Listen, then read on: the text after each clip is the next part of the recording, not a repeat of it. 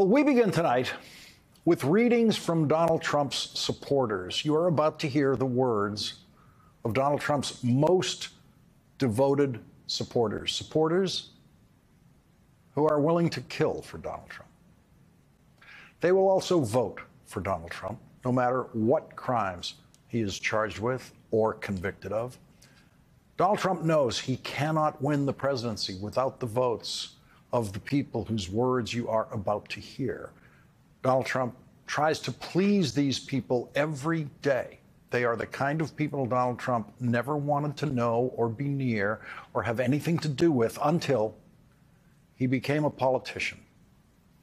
Now Donald Trump needs these people. Now Donald Trump is hoping that one of these people can somehow get on one of his criminal juries because that might be his only hope of not being convicted. Everything you are about to hear comes from transcripts of voicemail messages left by Donald Trump's most devoted supporters.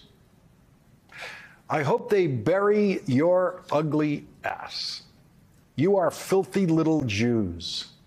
I mean, honestly, you should be assassinated. You should be killed. And there's this from another devoted supporter of Donald Trump Resign now, you dirty, treasonous piece of trash snake. We are going to get you and any one of you dirty, backstabbing, lying, cheating Americans. You are nothing but a bunch of communists. We are coming to remove you permanently.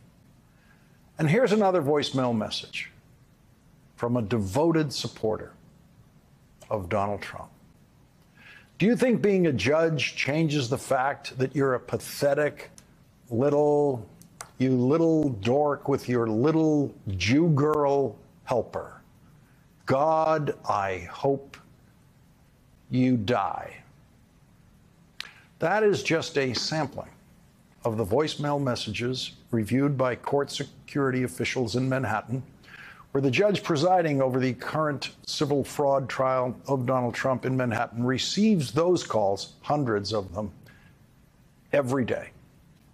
In a filing with the appeals court in New York to support the continuation of a gag order on Donald Trump in that case, the head of security for the court said the threats against Justice Engoron and his clerk are considered to be serious and credible and are not hypothetical or speculative. The implementation of the limited gag orders resulted in a decrease in the number of threats, harassment, and disparaging messages that the judge and his staff received. However, when Mr. Trump violated the gag orders, the number of threatening, harassing, and disparaging messages increased.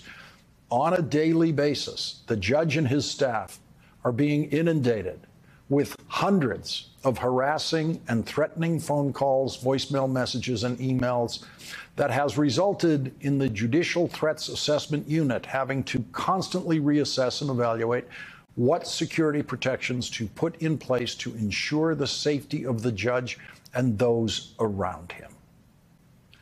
On Thanksgiving Day, Special Prosecutor Jack Smith filed a copy of that statement in the case of United States of America versus Donald J. Trump, where Donald Trump is appealing a limited gag order issued in that case by the trial court judge Tanya Chutkan.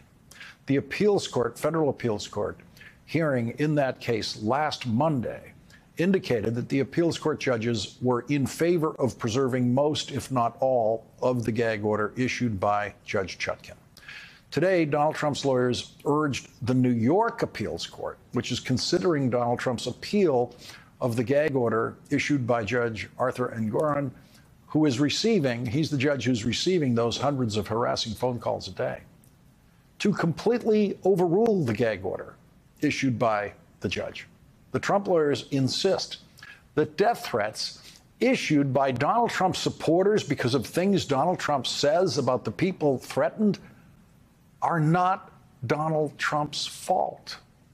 The Trump lawyers write At base, the disturbing behavior engaged in by anonymous third party actors towards the judge and principal law clerk publicly presiding over an extremely polarizing and high profile trial merits appropriate security measures. However, it does not justify the wholesale abrogation of petitioners' First Amendment rights in a proceeding of immense stakes to petitioners, which has been compromised by the introduction of partisan bias on the bench. In essence, the Constitution does not permit Justice Engoron to curtail petitioners' speech simply because people may react to things that President Trump says.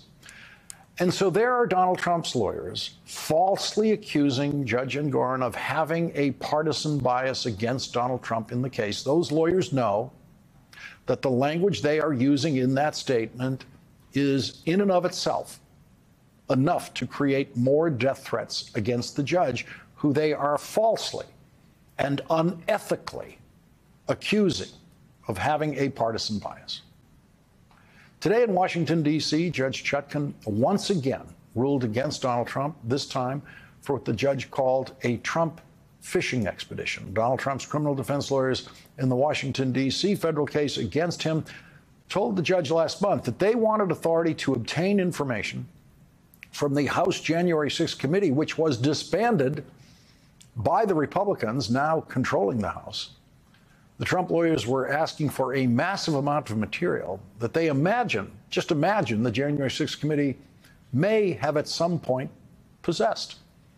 In her order denying the Trump lawyers' request, Judge Chutkan wrote today, quote, Defendant does not state with any specificity the information that he seeks in those records, repeating only that it is important and related to the events and people associated with the Select Committee's work, and therefore the January 6, 2021 attack. The broad scope of the records that the defendant seeks and his vague description of their potential relevance resemble less a good faith effort to obtain identified evidence than they do a general fishing expedition that attempts to use Rule 17C subpoena as a discovery device.